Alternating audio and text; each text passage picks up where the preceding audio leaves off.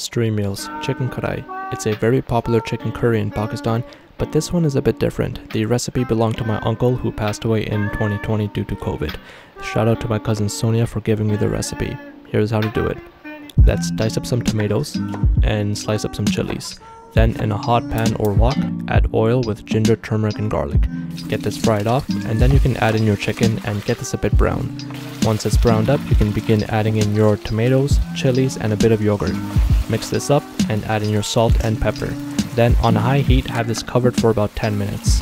Once it's covered, you can begin adding in your spices. Chili flakes, chili powder, garam masala, ground dried cardamom pods, cinnamon, and ground clove.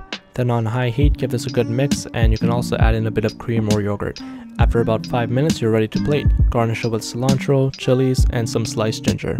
That's pretty much it. Enjoy.